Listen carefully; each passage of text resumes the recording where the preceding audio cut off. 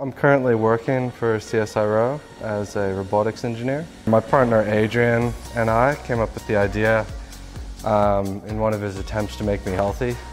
Um, he tried to get me to follow a diet and I denied at every step.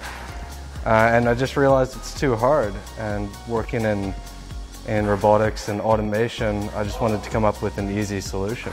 So kind of how Hali came about. Hali is uh, essentially just a, a streamlined uh, AI dietitian. Hopefully your all-in-one solution to health.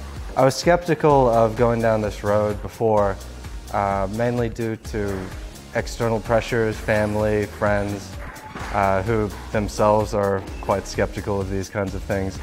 Uh, you also don't see a huge startup scene in Australia, so you know that was a bit worrying. But after getting to know you guys, it's, it's looking a bit more like a reality. Best thing about Pitchblak is definitely the people, uh, the people and the beer.